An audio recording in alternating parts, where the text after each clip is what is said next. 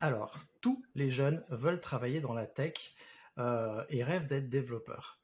C'est pas étonnant parce que c'est le métier le plus représenté dans les médias et la culture populaire. Pourtant, il y a des tas d'autres métiers dans le numérique et pour fêter le lancement justement de mon job board My Little Team, j'ai décidé de faire une série d'interviews et d'entrevues avec des personnes pour parler des métiers de la production, de l'exploitation ou de l'infrastructure. Mais on reparlera de mon job board à la fin de la vidéo, donc reste bien jusqu'à la fin si tu cherches un taf. Aujourd'hui, je suis avec Axel Desmontou et ensemble, on va parler de son rôle en fait d'administrateur cloud. Et aussi, on va voir comment le DevOps et le cloud a un impact sur les métiers de la prod. Bienvenue sur Radio DevOps, la balado-diffusion des compagnons du DevOps. Si c'est la première fois que tu nous écoutes, abonne-toi pour ne pas rater les futurs épisodes. C'est parti Bonjour à toi, cher compagnon, et bienvenue dans ce nouvel épisode d'En Aparté, l'émission où je m'entretiens avec un invité sur un sujet particulier. Alors, avant de commencer, je te rappelle que j'ai créé et que j'anime une communauté en ligne francophone dédiée au cloud et au DevOps. On est déjà plus de 1000 à échanger, à partager et à s'entraider tous les jours. Donc, ne reste plus seul face à tes questions et rejoins-nous. C'est le premier lien en description pour t'inscrire. Ou alors, tu vas sur le site compagnon-devops.fr et tu seras pris en main et tu pourras t'inscrire. Alors bonjour Axel, merci d'avoir répondu à mon appel à témoignage. Est-ce que tu peux justement te présenter en quelques mots et nous dire ce que tu fais dans la vie s'il te plaît? D'accord Christophe, alors moi je suis euh, Axel de Montou, euh, je travaille dans l'IT et plus précisément dans les métiers de l'infrastructure depuis maintenant euh, six ans et je suis actuellement consultant indépendant sur des métiers de l'infrastructure. Donc aujourd'hui, je suis euh, euh, ce qu'on pourrait appeler un consultant DevOps. Et, euh, et on en débattra. Exactement. alors, je vais te poser les questions traditionnelles que je pose dans ma partie. C'est la première, c'est quelle est ta définition à toi du DevOps? Alors ma définition, je j'ai rien préparé. Hein. Donc là, ça va être du, live. Euh, pour moi, c'est une culture, une organisation et des outils qui permettent de délivrer euh, des logiciels, des applications avec plus de fiabilité et de rapidité. Parce que souvent, on parle de rapidité quand, on évoque le DevOps, euh, mais pour ma part, je l'ai souvent vu, j'ai souvent vu la rapidité être privilégiée à la fiabilité, alors que je pense que c'est surtout la fiabilité qui, qui, a de l'intérêt dans, dans, tout ce, dans, tout ce processus et dans tous ces outils. Je suis assez d'accord avec toi là-dessus. Justement, comment est-ce que toi, tu as rencontré le DevOps? Est-ce que, Et surtout, est-ce que ça a changé quelque chose dans ta vie? Parce que je vois que tu es plus jeune que moi. Euh, donc, euh, je ne sais pas si tu as rencontré ça au tout début de ta carrière ou si tu avais déjà une première euh, partie de la carrière quand tu as rencontré le DevOps. Alors c'est une bonne question. En fait, moi, ma première expérience professionnelle, euh, on va dire à évoquer, hein, voilà, c'était ma, ma mon alternance de, de, de, bac plus 3, donc en licence. Et donc j'avais un job d'ingénieur système Linux, on va dire. Euh, donc je travaillais sur de la virtualisation et sur euh, des, des, progiciels à déployer. Et, euh, et, en fait, à ce moment-là, ce que, ce que j'avais comme job, c'était d'automatiser euh, le déploiement euh, de ces, livraisons parce que euh, je, crois même que c'était moi qui m'étais donné ce job-là parce qu'on on le faisait toutes les semaines. Euh, on réinstallait la même appli avec des tonnes de copier-coller, des tonnes de, changements de droit par-ci par-là. Et, et, moi, j'avais dit à l'époque, bon, bah, je vais faire un script qui automatise le déploiement. Et, euh, et, donc, on était dans un système un peu euh, artisanal, c'est-à-dire avec le data center dans la pièce d'à côté, avec 40 serveurs. Euh, et, moi, à ce moment-là, c'est là où j'ai commencé à m'intéresser à, tout ce qui était DevOps. C'était, déjà à l'époque on commençait à l'avoir en buzzword, DevOps. Et, donc, ce que j'avais fait, c'est que j'avais fait un espèce, je me rappelle, de rapport visant à intégrer euh, des, des, des, technos DevOps et des technologies cloud pour le data center. Euh, L'idée, c'était d'en faire un espèce de cloud interne avec, euh, avec un, un, OpenShift, un, enfin, un Kubernetes. Euh, ce rapport-là, il a dû terminer sur une table et il a jamais dû être réouvert. Et, et moi, j'ai changé d'alternance. j'ai changé d'alternance parce que je m'intéressais du coup à tout ce qui était applicatif et, et là, j'étais quand même dans une alternance très système. Et là, euh, je suis tombé justement sur un, sur un poste euh, qui était à l'époque dit euh, ingénieur de production.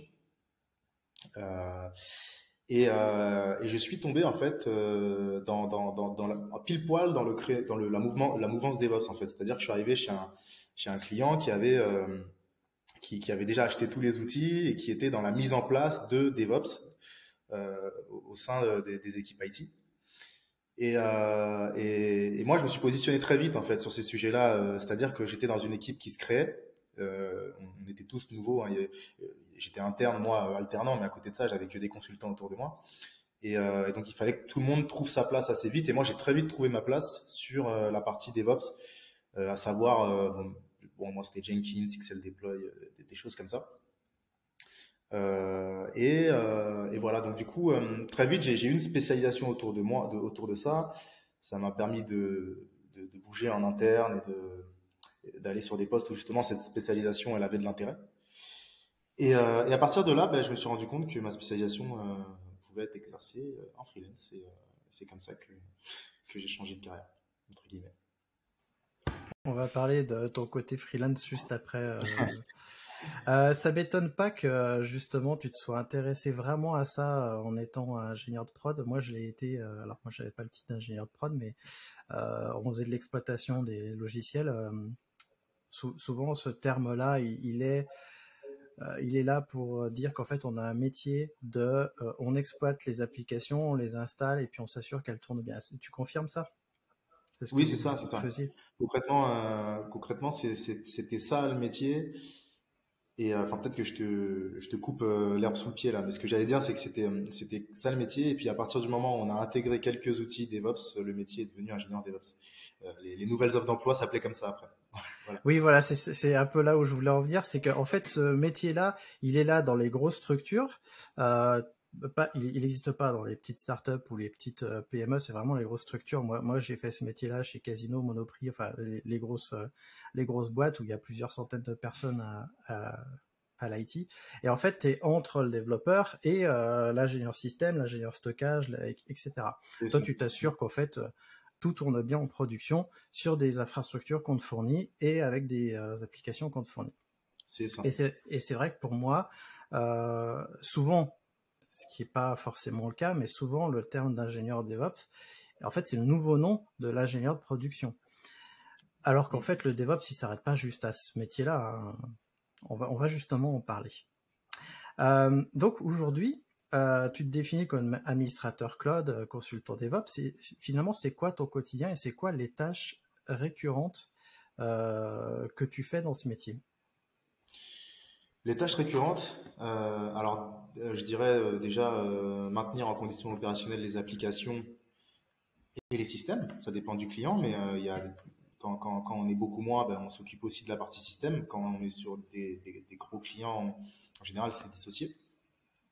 Mais euh, voilà, j'ai envie, de, envie de te dire maintien conditionnel des applications, des systèmes, euh, développement des, de, de, l'automatisation visant à déployer euh, des, des, ces applications, et développement des, des, moyens visant à déployer les infrastructures, vu qu'on fait de l'infrascode.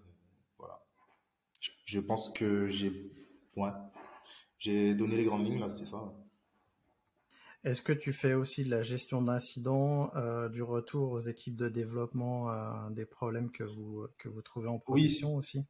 Oui, c'est ça, j'ai envie de dire du support. Euh, du, je ne sais pas si c'est le ça fait partie de ça, on va dire du support au développement, quoi. Euh, donc, euh, un traitement qui, imaginons, qui est censé tourner à 20 heures et, qui, se passe mal. Voilà, c'est moi qui vais faire le retour euh, aux développeurs si la cause n'est pas directement liée aux infras. Donc, je vais, je vais travailler avec eux sur, sur la remédiation, leur donner peut-être des pistes. Ça marche. Alors, quand tu m'as contacté, euh, c'est vrai qu'on en parlait en introduction. Tu me disais que tu voulais parler du euh, consultant DevOps. Euh, moi, je t'ai dit que ça me gênait un peu Euh, T'as compris pourquoi hein. Ça me gênait un peu ce métier parce que bon, je, fais partie des gens qui pensent que DevOps c'est pas un métier déjà, que c'est plus un mouvement.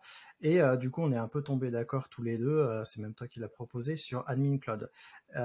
Mais du coup, pour toi, consultant DevOps, pourquoi c'est ça qui t'est venu en premier en tête? C'est une question de, SEO, de SEO, SEO job.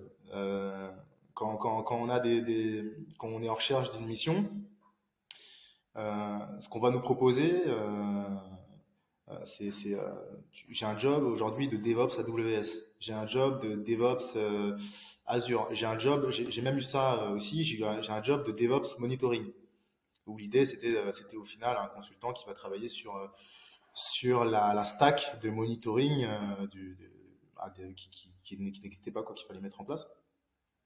Euh, donc voilà, là où je voulais en venir, c'est que euh, pour être ciblé, c'est beaucoup beaucoup plus facile euh, en, portant ce, cette casquette consultant DevOps. Mais en soi, d'un job à l'autre, c'est totalement différent. Il n'y a, vraiment pas de pas de règles. Il y a des jobs où on va beaucoup plus être dans le build, d'autres un peu plus dans le run. Euh, des jobs où on va être un peu plus sur des infra cloud, d'autres un peu plus sur des infra on-premise. Il euh, n'y a, vraiment pas, de règles, mais, euh, si, ce, si nom de job, moi j'ai choisi de le mettre en profil, c'est pour être assez générique et, ouvrir la porte à toute demande, concrètement. Voilà. Et aujourd'hui, je pense que on a beaucoup beaucoup de techno et, euh, et c'est difficile de parce que notre travail euh, en tant qu'on va dire ingénieur de production, il, il est euh, il est lié à beaucoup de techno. Et, euh, j'imagine la difficulté à dire, à trouver un nom de poste pour pour chaque mission. Je pense que c'est pas évident. Moi, ça m'arrange d'avoir quelque chose d'assez générique que tout le monde comprend. Voilà. Ouais, c'est là où je, voulais justement en venir, en effet, le SEO. Alors moi, j'ai tendance à considérer DevOps comme un adjectif que je colle au titre du job, comme administrateur système DevOps, administrateur réseau DevOps, DBA DevOps même, euh, ou, euh, ou autre, parce que ça montre la manière dont on fait euh, le, le, job. Ça, c'est mon, c'est mon envie. Euh, d'ailleurs, euh, j'ai sorti un épisode de podcast. Alors, au moment où on enregistre celui-ci, il est sorti il y a deux semaines, qui s'appelle l'administrateur système DevOps. Et euh, justement, on parle de ça. Je sais pas si toi, tu l'as écté. parce que comme non, mais je n'ai pas fait mes devoirs, mais par contre, je te suis dans la démarche parce que il fut un temps, mon une de, mes premières expériences principales, je, je l'avais nommé ingénieur de production DevOps. C'était ça, c'était comme ça que je l'avais nommé.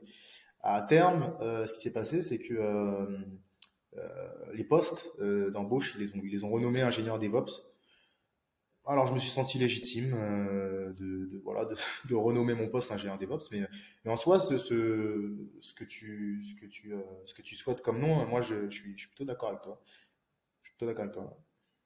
Ouais, j'en parlais justement avec Diran aussi euh, dans un autre épisode de podcast et euh, et le souci d'avoir ce terme-là, ingénieur DevOps, euh, il devient tellement générique, comme tu le dis, que quand on regarde les offres d'emploi, eh ben il y a tout, il y a tout et son contraire, et du coup, même quand on se prétend être ingénieur DevOps, on ne sait plus vers quoi aller, alors qu'à l'époque où il y avait encore, en tout cas chez les recruteurs, administrateur système, euh, DBA, etc., etc., tu pouvais au moins faire un premier tri. Là, ça devient plus compliqué.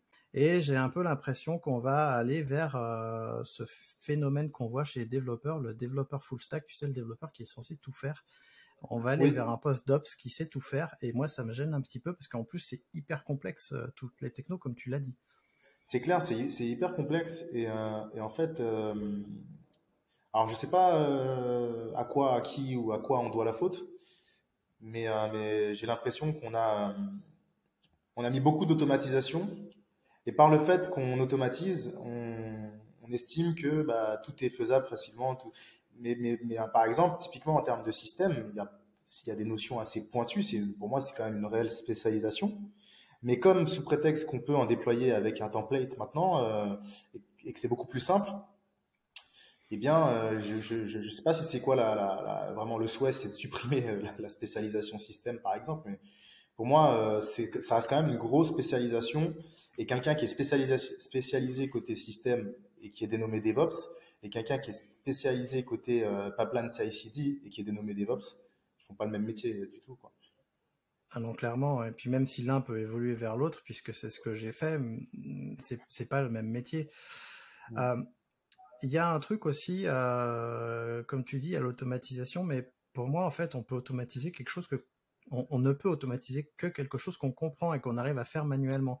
Et euh, l'automatisation facile, pour moi, c'est un leurre, notamment tous les gens qui vont sur Kubernetes pour l'avoir fait. Hein, c'est si tu comprends pas ce qu'il y a derrière, si tu comprends pas les conteneurs, les réseaux, euh, le déploiement euh, euh, et, tout ce qui se passe, bah, tu vas à un moment donné, dès qu'il y a un problème, buter et tu comprendras pas pourquoi. Et tant que ça va bien, ça va, mais le moment où, tu butes, je sais pas ce que tu en penses de ça, tu, seras pris au dépourvu et tu pourras plus rien régler.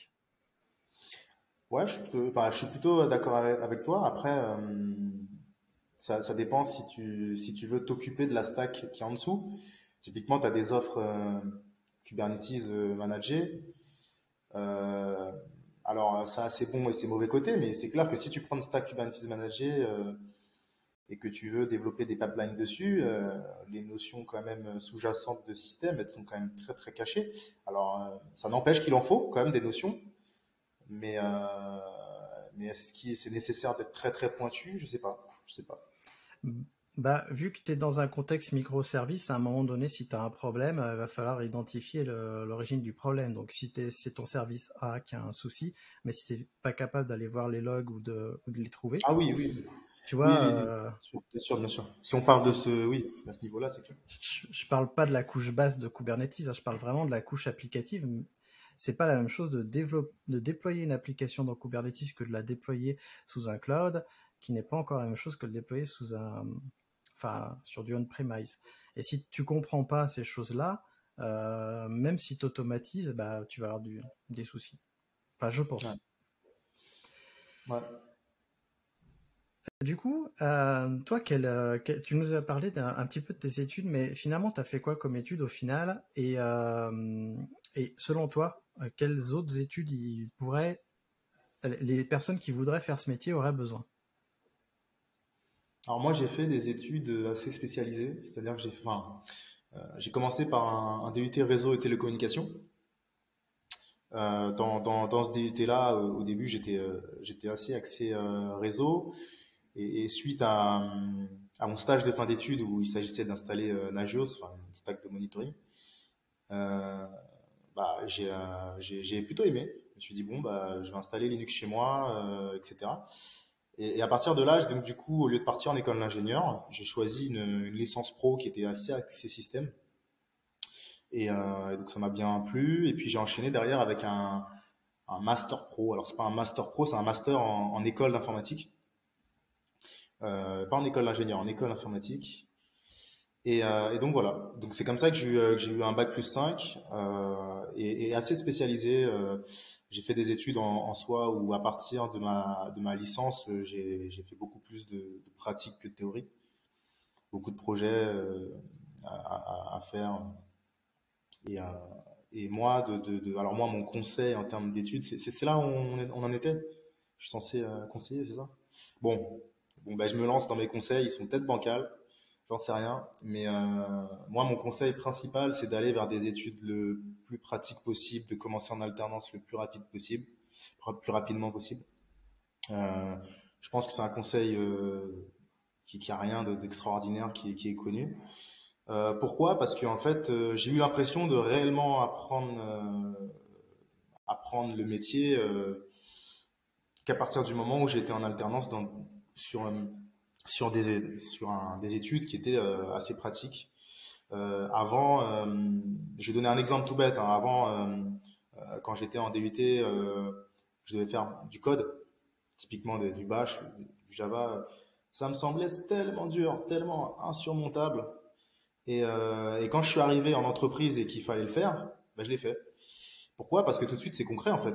On te dit, euh, tu dois faire ci pour ci pour ça. C'est plus euh, calculer le nombre de sacs euh, Chanel que Tata Huguette elle a acheté. Et donc là, ça devient concret. Il faut le faire. Et puis si on le fait pas, il y a un problème. donc on le fait. Et, et, moi personnellement, en tout cas, chacun a sa manière d'apprendre. Moi personnellement, j'ai un peu besoin d'être dans un cas concret, d'avoir une raison de faire les choses pour surmonter un peu certaines difficultés. Euh, et, voilà, chacun a sa manière d'apprendre. Moi, mon conseil, je pense qu'il est assez subjectif. Je suis assez d'accord avec toi. On accueille des alternants aussi euh, en système. Et, je donne moi-même des cours euh, dans deux écoles, une qui fait pas d'alternance et une qui est en alternance. Et je vois un petit peu la différence entre les, entre les étudiants. Alors, dans l'école généraliste, je donne, enfin généraliste, c'est des ingénieurs système et réseau, mais c'est plutôt des ingénieurs généralistes informatiques. Et souvent, quand je leur pose la question, ils savent même pas ce que c'est les métiers. Euh, ils se posent même encore la question de savoir s'ils vont être développeurs, euh, administrateurs système. Enfin, ça, ils se posent pas la question, sauf après mon passage, ou euh, chef de projet ou autre.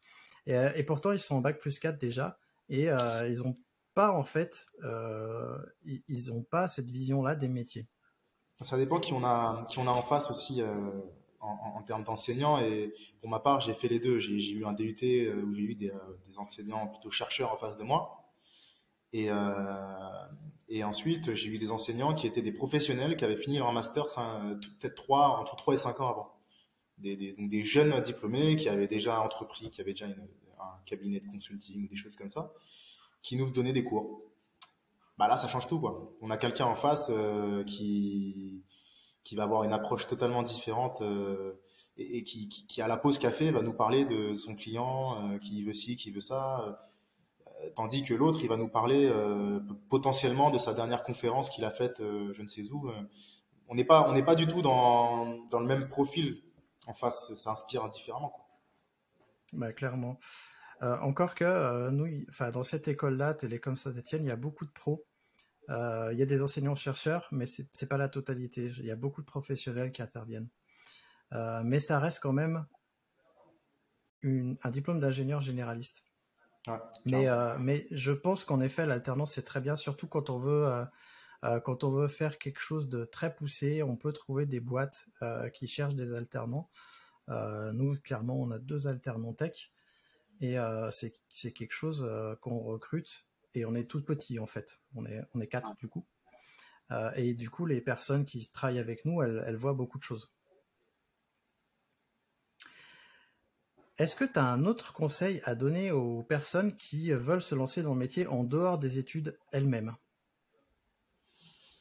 Un autre conseil? Euh... Laisse-moi réfléchir. Alors, mon conseil serait euh, de s'intéresser euh, à l'IT à 360 degrés. C'est-à-dire que euh, on peut facilement, pour, bon nombre du moins d'informaticiens, tomber dans des, chez des grands clients, être dans une équipe qui a un, qui a un scope assez réduit euh, et, au-delà de la culture générale, c'est surtout dans le fait de comprendre ce qu'on fait. C'est pratique quand même d'avoir une vision à 360, de savoir qui fait quoi, de comprendre comment, euh, comment le projet IT euh, se déroule du métier jusqu'à nous au final, jusqu'à nous. Ça, pour moi, ce serait un premier conseil. Et puis, deuxième conseil, je pense que, je pense que tout le monde le connaît, hein, c'est de se tenir, se tenir informé des, des, dernières tendances, des dernières évolutions, d'avoir, d'avoir une idée de, de, la suite, de, la suite du prochain virage, on va dire. c'est très bon conseil parce que surtout qu'en plus en ce moment c'est beaucoup plus facile qu'il y a quelques années. Euh, aujourd'hui il y a des sites de partout, il y a même des chaînes YouTube euh, qui font ça.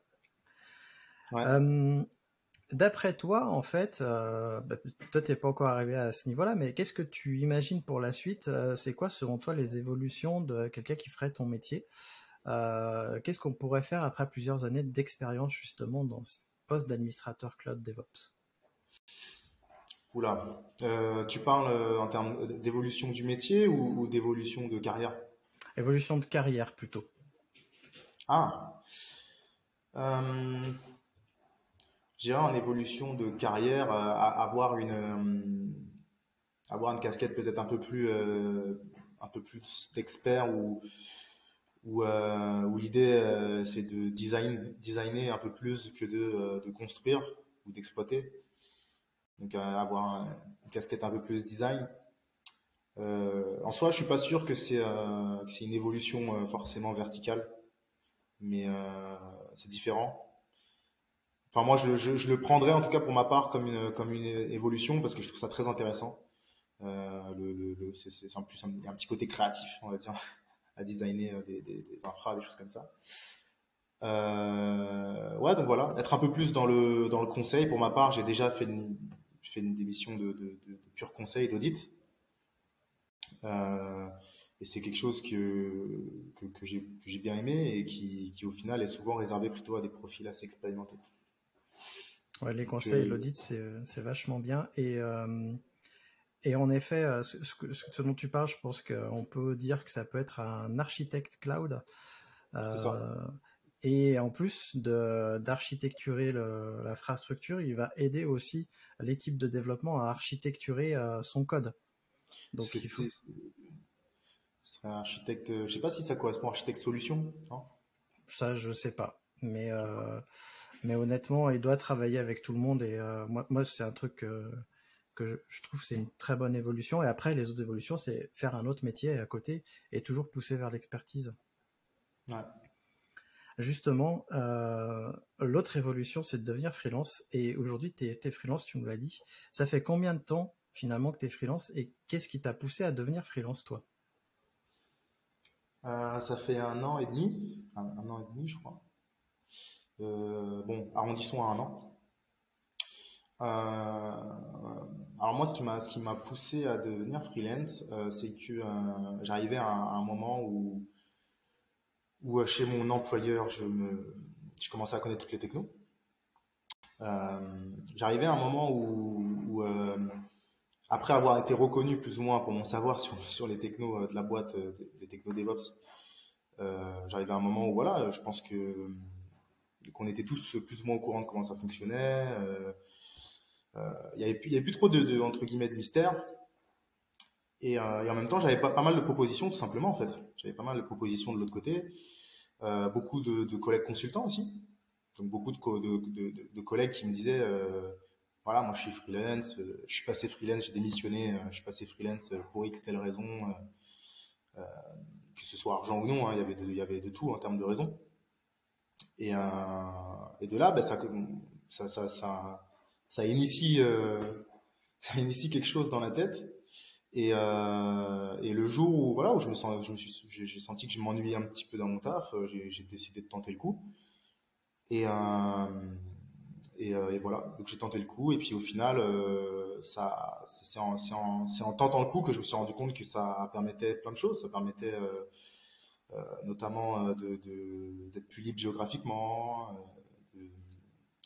de, de, voilà, d'entreprendre tout simplement, d'avoir peut-être tout simplement expérimenter ses idées, un peu comme toi avec ce podcast, tu vois. Exactement. toi, tu as quel âge aujourd'hui? J'ai 27 ans. Tu as 27 ans, est-ce que tu as eu peur? Parce que finalement, tu t'es lancé à 26 ans, c'est finalement euh, court comme carrière avant de se lancer en freelance. Est-ce que tu as eu peur avant de te lancer en freelance? Euh, Ouais, j'ai eu peur un peu. Euh, c'est pour ça que je suis parti en congé sabbatique. Je n'ai pas démissionné tout de suite. J'avais l'opportunité de faire un congé sabbatique. J'avais, j'avais assez de temps de boîte. Et, et donc oui, j'ai forcément au début, j'ai eu un, peu peur, mais ça, correspondait à ce que j'avais choisi dans la vie à ce moment-là.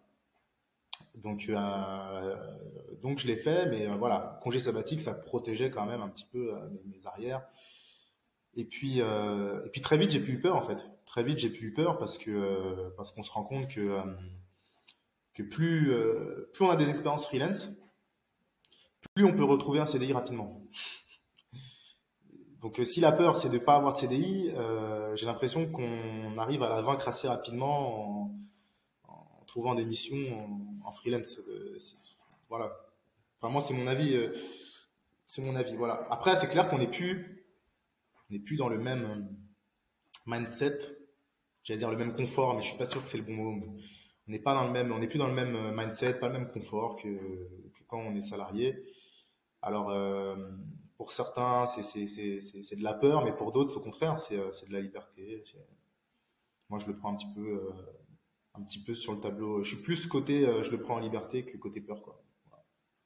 Ah, c'est que ça, fait peur de se lancer comme ça sans patron. On est dans une société euh, qui prône le salariat aussi euh, depuis euh, longtemps. Ça, a tendance à changer, mais, mais du coup, c'est vrai que ça peut faire peur. Est-ce que tu conseilles aux jeunes qui sortent de l'école, qui ont envie de se lancer en freelance, de le faire tout de suite ou comme moi, je leur conseille, faites un ou deux ans d'abord dans une boîte, puis après lancez-vous en freelance? Alors moi, mon conseil, il va aller clairement vers, euh, vers ce que tu leur conseilles. Voir, toi, tu dis deux ans, euh, j'aurais dit même plus, parce que, euh, alors moi, je me cale peut-être sur mon parcours. j'ai fait, bon, sans, compter les alternances, sans compter les alternances, j'ai dû faire trois ans ensuite en CDI, sachant que j'étais déjà deux ans dans la même boîte avant, donc j'ai fait, fait, cinq ans dans la même boîte. Et et en fait, oui. Euh, alors oui, il y a le côté technique. Le côté technique que tu en un an, deux ans, je pense que tu vois pas mal de choses.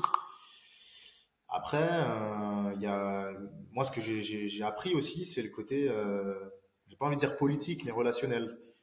Euh, voilà, savoir euh, comment discute un, chef de projet, comment discute l'architecte qui est là, comment comment les choses fonctionnent globalement, même en, en dehors de, de l'aspect technique. Et, euh, et ça, euh, se retrouver freelance tout de suite en sortant de l'école, euh, je pense que je pense que c'est pas c'est pas correct. Moi, j'ai quand même eu des sensei, enfin disons des des des, des, des, des, managers qui m'ont qui m'ont appris quand même pas mal de choses. Et aujourd'hui, si si je si, si je m'étais dit j'étais je serais freelance juste après les études, je sais pas comment comment j'aurais appris ces choses-là parce que j'aurais été tout seul quoi on m'aurait pas guidé, euh, quoi que ce soit. c'est vrai parce qu'en plus de devenir freelance, il y a l'aspect euh, technique et l'expérience qu'on doit apprendre si on sort de l'école, mais en plus, comme tu le dis, l'aspect commercial, euh, l'aspect du service, comment est-ce qu'on va traiter bah, les gens avec qui on travaille et puis notre client. et puis il y a ne pas se faire manger aussi par le client, et ça, je pense que tu peux l'avoir avec avec un petit peu de recul quand même quand tu as déjà eu un patron, parce qu'un patron et un client freelance, pas très loin, on va dire. C'est pour ça que maintenant j'arrête de, de, faire de la prestation et que je vais plus vers euh, du consulting, euh, du mentorat et, autres. Euh, mais je pense qu'en effet, il faut avoir cette expérience-là du monde du travail avant de se lancer en freelance, puis même pour avoir un, peu de, un peu d'assises, quoi. Dire, bah, j'ai fait ça dans la vie avant.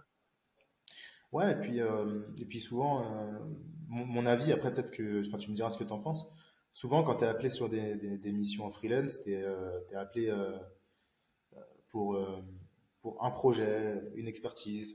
moi, en restant 4-5 ans chez, le même client, enfin en interne, j'ai pu bosser sur plein de projets différents, alors de près ou de loin, mais j'ai bossé sur des applications en microservices, j'ai bossé sur Azure, j'ai bossé sur AWS, j'ai bossé sur sur des projets d'applications vieilles comme le monde. Euh, enfin, j'ai vraiment bossé sur euh, pas mal de choses.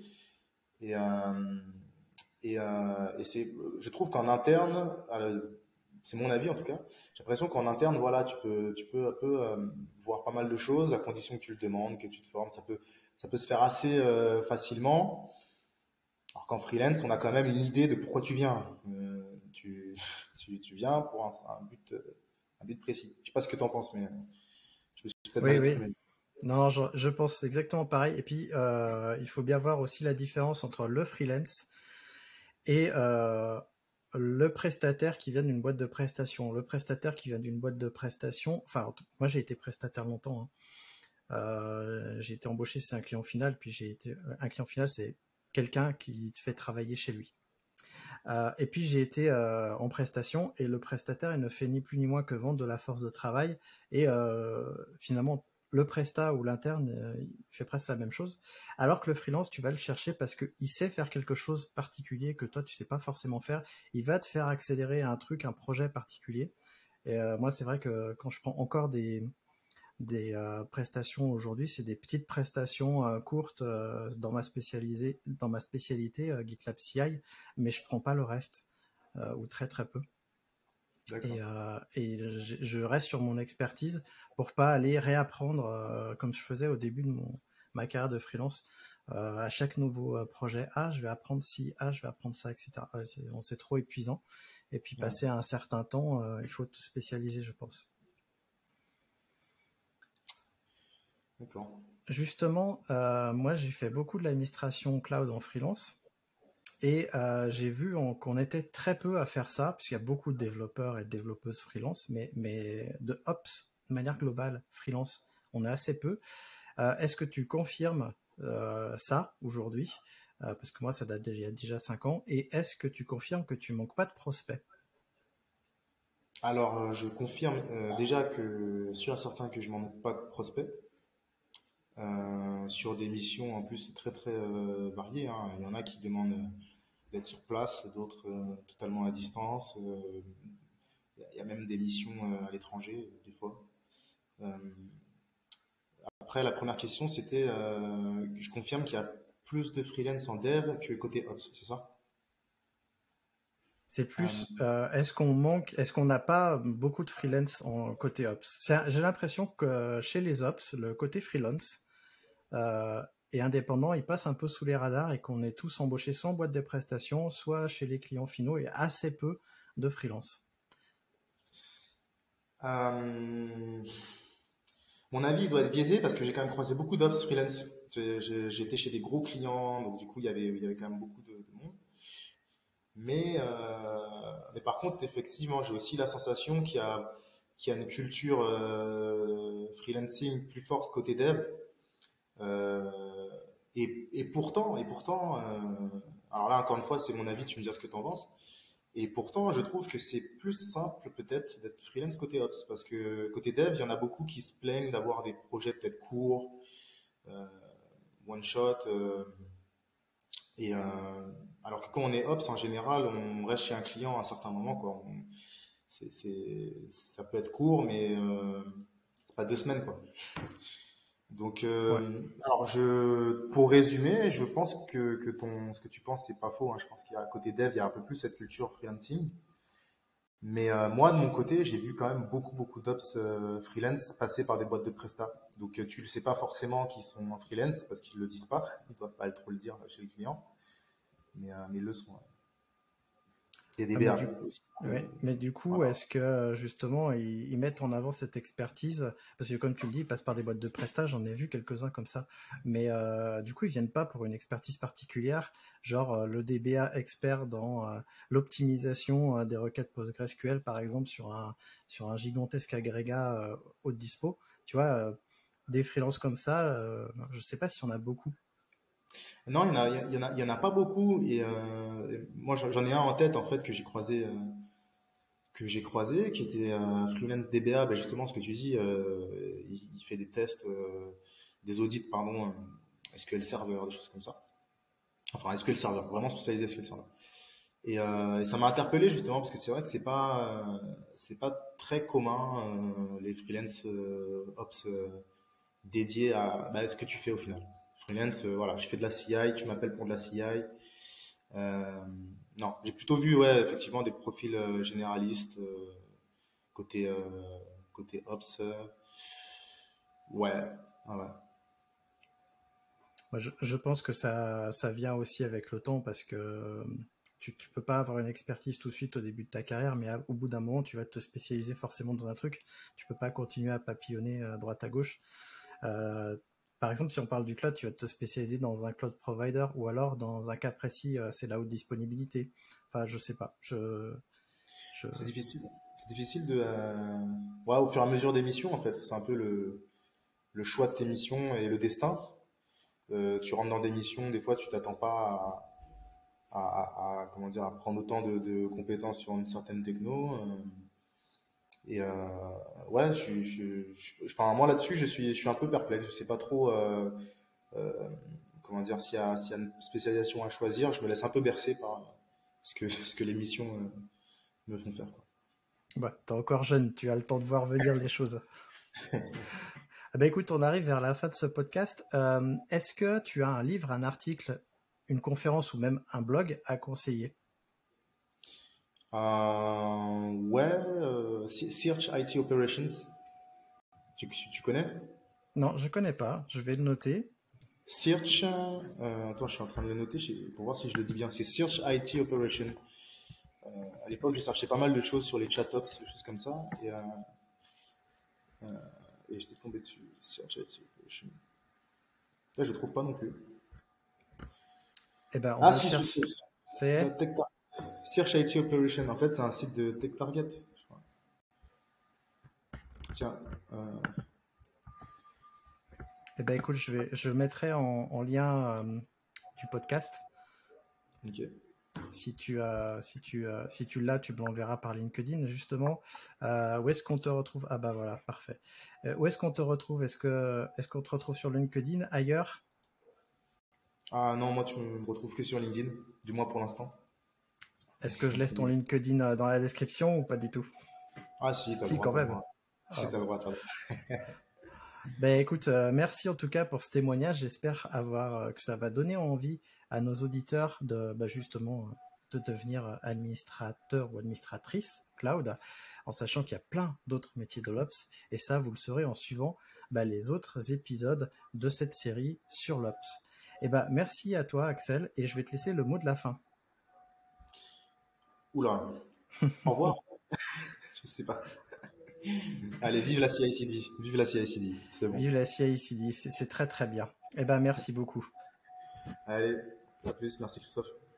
My Little Team m'a proposé de créer un job board avec eux. Et comme j'aime leur façon de faire, je leur ai dit oui. Alors, si tu cherches un job, fais très attention à ce que je vais te dire. Ce job board me permet de te proposer des équipes que j'ai présélectionnées sur recommandation de My Little Team. En effet, elles ont une culture qui te permettra de t'épanouir. Et tu sais à quel point la culture est importante pour moi. Passer par mon job board, c'est aussi, pour toi, l'assurance d'être accompagné par My Little Team dans ton parcours de recrutement. Et en plus, tu me soutiens, car ce job board me permet de gagner de l'argent, et donc de financer les podcasts que tu aimes tant. Donc, rendez-vous sur vue.fr slash jobboard-devops, mais sinon, tu trouveras le lien en description. Attends, attends. Si tu es manager, DSI ou directeur d'entreprise, et que tu cherches à recruter des personnes qui sont intéressées par le DevOps, tu l'auras compris puisque tu écoutes ce podcast, c'est l'endroit idéal. N'hésite pas à déposer tes offres d'emploi sur mon job board. C'est sur vue.fr slash jobboard-devops-recrute. Mais c'est pas grave, le lien est aussi en description.